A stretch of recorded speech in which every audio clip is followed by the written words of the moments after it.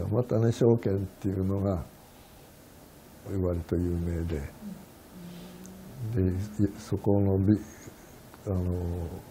兜町のど真ん中にビルを建てて山種ビルっていうのがあってその一番上の階が山種美術館っていう美術館で、ね、今今も山種美術館があるんですけど。でそのだから山そんな兜町でに美術館作ったっていうのはその山種さんっていう山崎種実さんっていう人がみんなこうね株のことで夢中になっちゃって。金ボケになっちゃうから少しは頭冷やすように上に美術館を作ってで少しは心を押し付けるようにで作ったと言われているんだけど種次さんが亡くなられちゃった後ね息子が2人3人いたみたいで1人戦死したかなんか2人になっちゃう。で上のお兄さんっていうのが実際は、まあ、主に主なところを引き継いだんですね証券とかなんかを。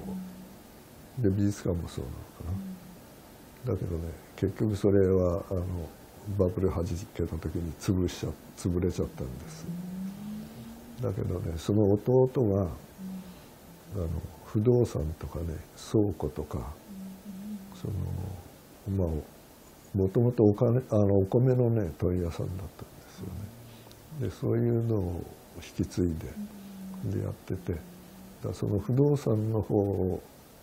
が不動産をやってるからいろんなところに土地持ってたわけ。でだたまたまその小机のもうなんかでね差し押さえた。やばい。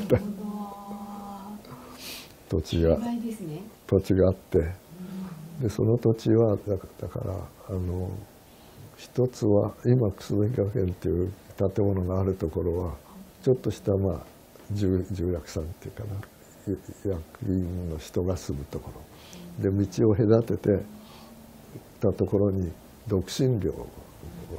作ってそれであと駐車場かななんかがあってっていうねそういう失礼だったんです。地区センター地区センター側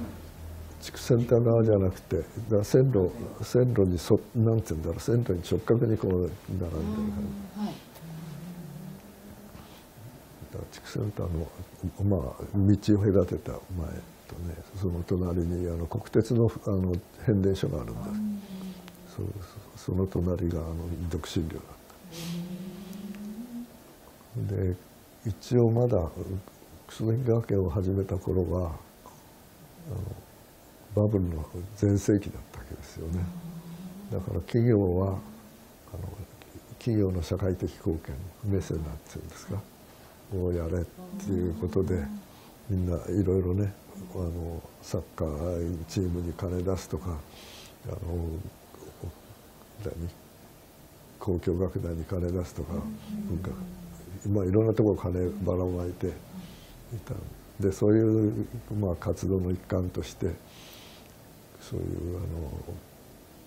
子どもが学校に馴染めなくて困っている子どものための学校を作るっていうのがあるから、